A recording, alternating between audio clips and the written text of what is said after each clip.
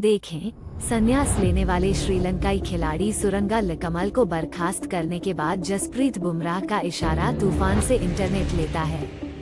भारत बनाम श्रीलंका, अंतर्राष्ट्रीय क्रिकेट में अपना अंतिम मैच खेल रहे श्रीलंका के तेज गेंदबाज सुरंगा लकमल के लिए यह भावनात्मक टेस्ट था।